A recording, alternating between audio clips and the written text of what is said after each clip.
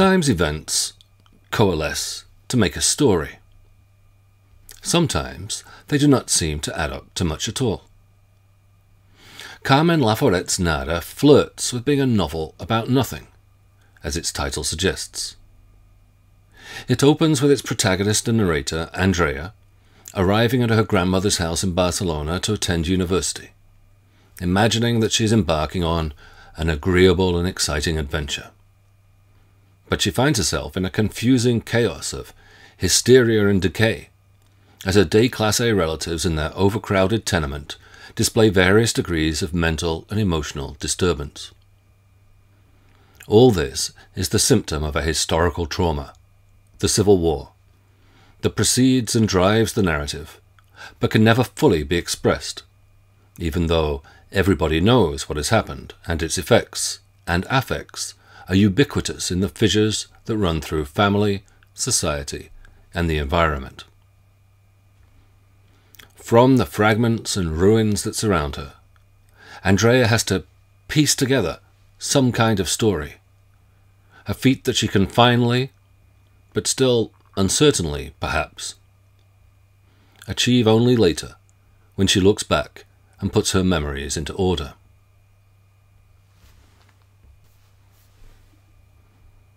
The Spanish word historia can be translated into English as either history or story. So, where English tries to establish a clear distinction between a true account, history, and a false one, story, Spanish threatens to elide this difference. Something similar is the case also in French, where raconter des histoires, for instance, means to tell fibs. Even in English, the word story can take on these two apparently opposed meanings. Both something made up, a lie, just a story, and a statement of the facts of the matter. What's the story?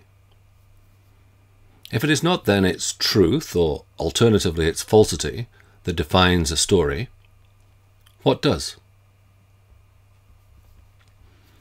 In Laforet's novel, Andrea is repeatedly tempted to interpret what she sees around her as though it were part of a story of some kind.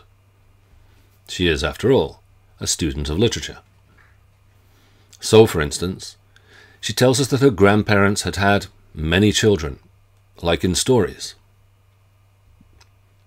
Some of these children have got away, such as Andrea's own mother, now, like her father, dead, which is why the young student has to depend on the generosity of her more distant relatives.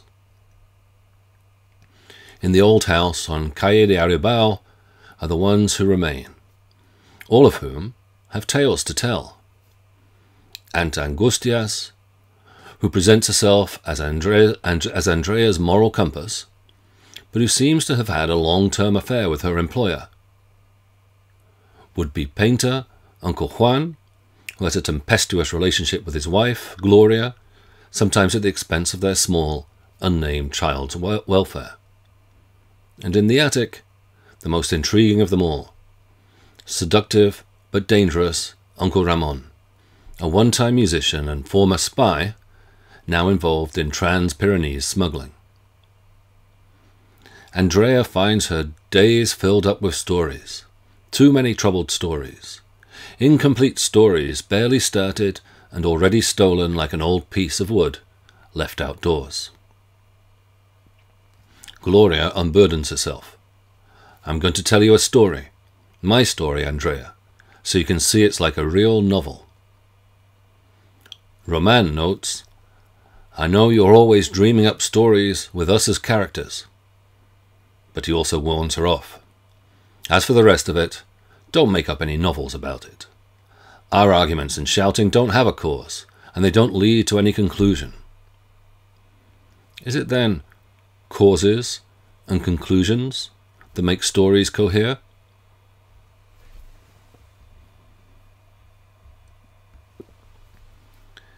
In Nada, coherence and conclusions are elusive.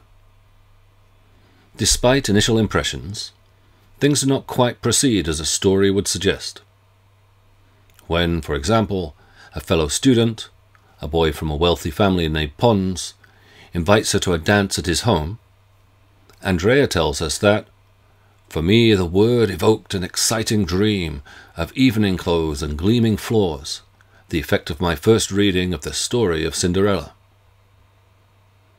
Looking in the mirror, she says that she contemplated, trembling with emotion, my astonishing transformation into a blonde princess. But things do not turn out that way. Even in her least old dress, carefully ironed for the party, she feels embarrassed and alone at Pons's house. In no way did this emotion resemble the radiant sensation I had anticipated. She ends up asking herself, how would I ever understand how these things worked? The models and patterns provided by the tales she has heard and read prove misleading. What then remains? Nothing, as the book's title suggests? As Andrea puts it at the very end of the novel, as she descends the stairs of her grandmother's house for the very last time to leave for Madrid, I remembered the terrible expectation, the longing for life, when I had climbed them for the first time. I was leaving now without having known any of the things I had confusedly hoped for. Life in its plenitude, joy, deep interests, love. I was taking nothing from the house on Calle de Aribau. But is that really so? Corrected that impression, she adds, At least, that's what I thought then. After all, a narrative about her experience has cohered in some way. In the book that we are reading, and that is now coming to its conclusion. A book that makes nothing its theme, that makes something out of nothing. Perhaps nothing, nada, is precisely what she takes from her year in Barcelona. But we have moved to conclusions already. What of causes? What takes place, or what do we imagine to have taken place, before this novel, or any novel, begins? To what extent do we understand how things came to be the way they are when the narrative opens, with Andrea's arrival in Barcelona? And how much do we have to understand? To put this another way, how important is what we might call backstory in this novel, or any other? Pause the video and jot down some notes. What do we learn about the stories that have led to this one? While you do that, I'll have a glass of water. But I'll be right back.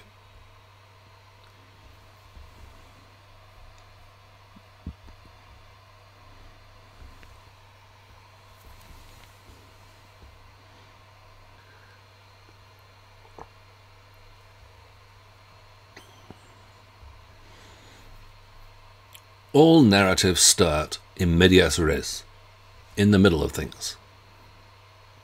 However much a story has a beginning, a middle, and an end, we know beginnings, like endings, are arbitrary.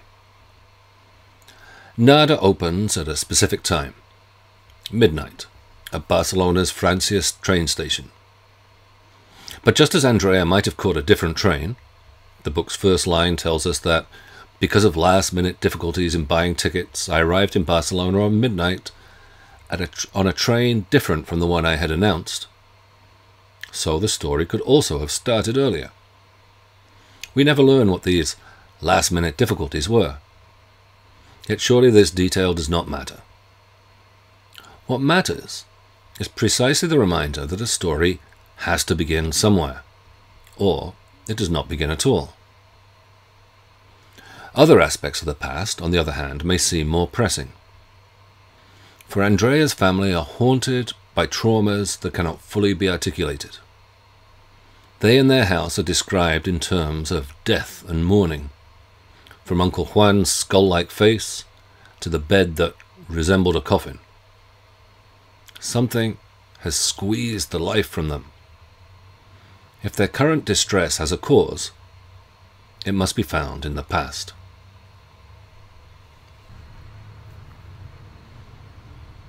Though Andrea arrives in Barcelona excited about her future, and at the novel's end leaves Madrid, likewise hoping to make a break from what has come before, she spends much of her time looking backwards.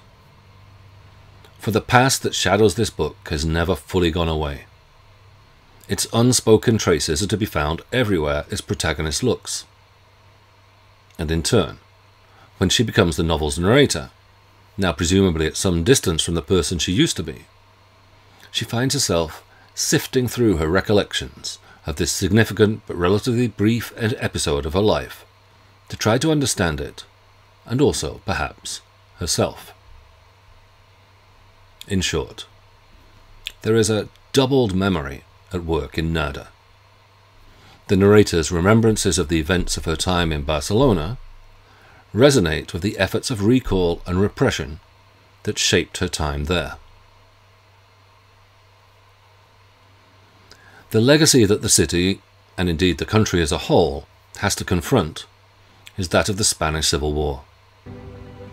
This had begun in 1936 with a military uprising led by General Francisco Franco against the then Republican government. Years of bitter fighting followed, which Franco's nationalist forces were supported by Nazi Germany and Fascist Italy, while most of the rest of Europe stood aside. The Republic steadily lost territory despite the aid of the Soviet Union, Mexico, and thousands of idealistic volunteers who flocked to form international brigades. Amid the chaos, Barcelona saw infighting also between anarchists, who had taken control of the city early on in the war, and Soviet supported communists. In the end, Catalonia was overrun in early 1939 and Madrid fell to Franco soon thereafter. All this was a prelude to World War II, which broke out later the same year, in which Spain was officially neutral.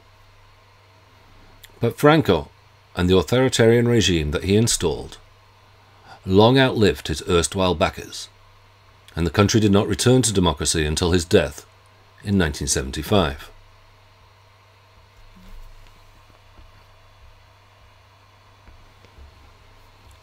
The scars of conflict are everywhere evident, if seldom dwelt upon, in Laforet's novel. For instance, when Andrea visits a restaurant with a boy, Gerardo, they look out over the port and see, but do not comment on, the rusted skeletons of ships sunk during the war. Likewise with Pons. Andrea visits a church that has been burned during the war. She sees broken stained glass windows, surrounded by stones that the flames have blackened, but concludes that this desolation overflowed with poetry and made the place even more spiritual. Less poetic is the poverty and hunger suffered even by formerly comfortable families such as her own.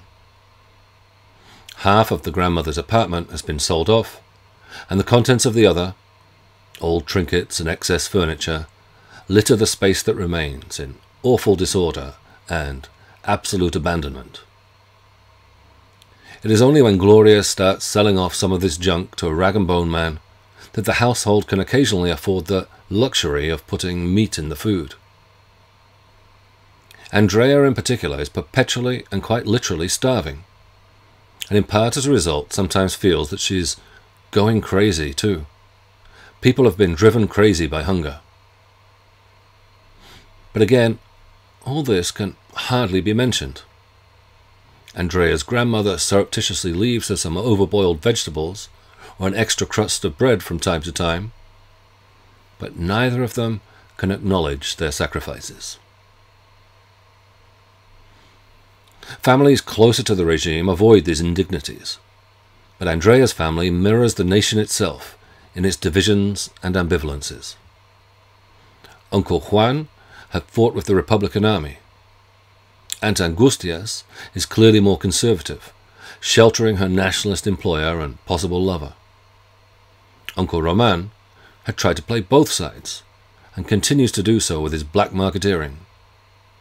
In what is perhaps the book's one event, however, faced with the prospect of blackmail from Andrea's friend Ena, perhaps seeking vengeance for the way in which the older man had treated her mother years before, and or denunciation from Juan's wife Gloria, Roman kills himself. On the Calle de Aribau, as in much of Spain at the time, people had to guard their secrets, their unspeakable shame and their buried aspirations, or otherwise face the consequences.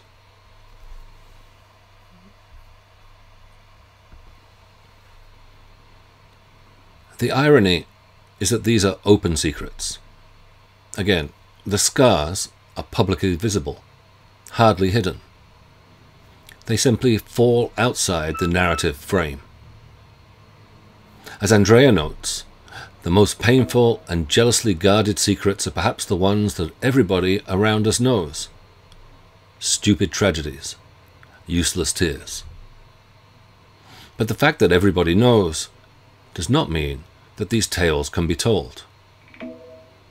Censorship, even self censorship, and Laforet's novel had to be approved by Franco's censors, which no doubt shaped what she felt she could write, never really works if its object is to prevent people from knowing the facts of the matter, the real story.